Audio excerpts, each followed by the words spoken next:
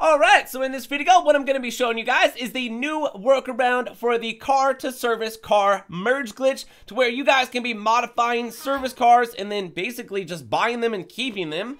Okay, so for this glitch, what we will need, of course, is some service cars that are in our auto shop and we will need a donor car or maybe a couple donor cars. So maybe something that's got some bennies on it or maybe a vehicle that's got some F1s like an F1 vehicle or something like that.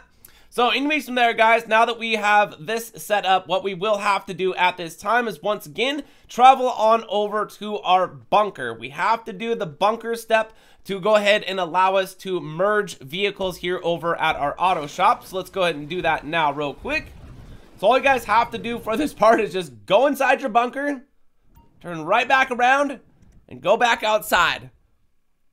Now, it doesn't matter how you get back to your auto shop. You guys could job teleport. You guys could use a helicopter. You could get one of your friends to drive you, or maybe you could just drive yourself. It doesn't matter. But where we're going right now is back to the auto shop so we can start to merge. Now, let's get into this donor vehicle real quick. Go ahead and press right on the D-pad. We don't have to modify or change anything on this vehicle. The only thing we have to do is just press right on the D-pad to take this vehicle into the workshop and then just go ahead and back out real quick. That's all we have to do for that part. All right, now let's get ourselves glitched out real quick. So let's go up to the snack bowl, which is located right over here. Free snacks, if you guys didn't know.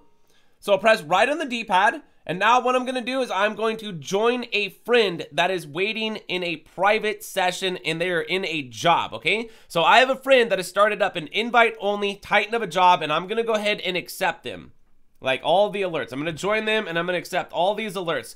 But you guys, on the alerts, make sure you're waiting a couple seconds, okay? As you notice, I'm waiting a couple seconds before I actually accept the alerts. So I'm waiting like three seconds on each alert and I suggest you guys do the same because what can happen here while we are merging is you guys can potentially get stuck in an infinite black loading screen, which is why we want to wait on the alerts for a few seconds. So let's go up to a service car, press right on the D-pad, we're going to get frozen. Once again, let's join that friend in an invite only titan of a job or something like that. Doesn't have to be a titan of a job, just whatever. Just basically an invite only session to where we get the alert saying you cannot join this person because they are in a private session. And therefore you would need an invite from them to be able to get into that session.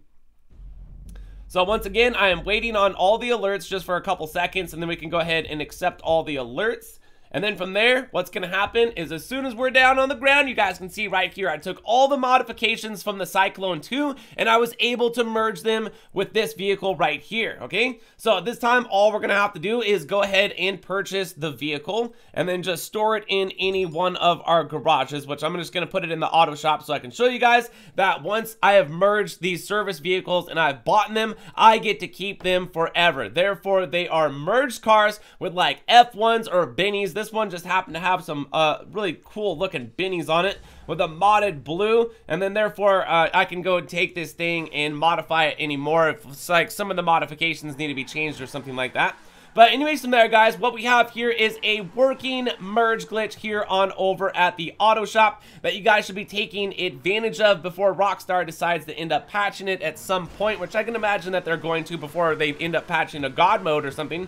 But anyways, from there, if the video was helpful and you guys were able to merge vehicles by using this glitch, hit like button on the way out, subscribe, and leave a comment down below if you guys are having any trouble. Hopefully, I'll do my best to be able to hopefully help you out. But anyways, from there, my name is Gravesight. Thank you guys for watching. I'm out of here, so peace.